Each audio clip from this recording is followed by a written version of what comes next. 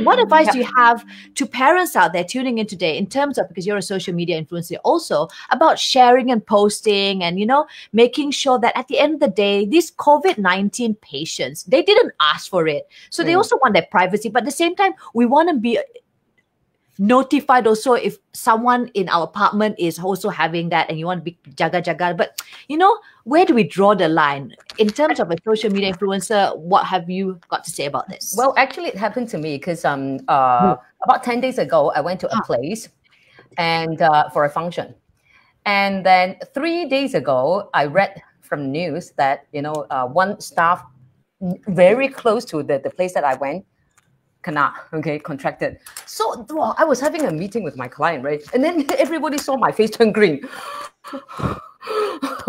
so I, I, panicked. I did panic for a while. So yeah. after that, number one, I got to verify whether that piece of article is genuine. Okay. So I verified, yes, it, it is genuine. So okay. it was on, on the Star paper. So that's genuine enough, right? And after that, I call a few friends to ask when, who is that fellow. I, I mean, I don't demand, you know, uh, demand them to disclose uh, the name or, or whoever, but was he or or, or, or her uh, or, or, she attend uh, attending our function on that day? So after that, you clear all the you know the, um, the doubts, you know, like, you yeah, the clouds or whatever, uh. and then you see a clearer picture. Hey, Wong Chui Ling.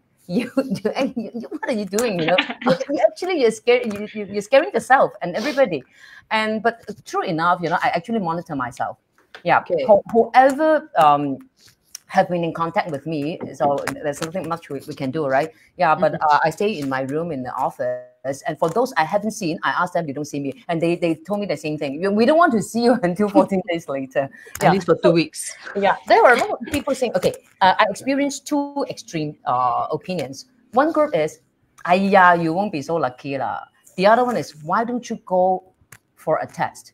You know, just for the peace of mind yeah so i did think about it but uh, after that you know it's been um, 13 almost two weeks so okay. uh, and, I, and i called my friends you know uh, everybody looks okay so and i wasn't on the list so i assume okay but what what what what, uh, what i want to try what, what what i'm trying to say is if you suspect yourself mm. um you know having a chance of uh, you know you know in contact with the unknown person there there are something that you can do yeah. The number one is don't panic first, you know, go and find out more.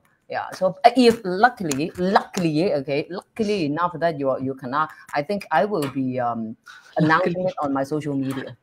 Oh, there yeah. you go. You, yeah. you you'll be responsible enough to yeah yeah you got res- okay. responsible to the your this is a very popular way to announce it recently.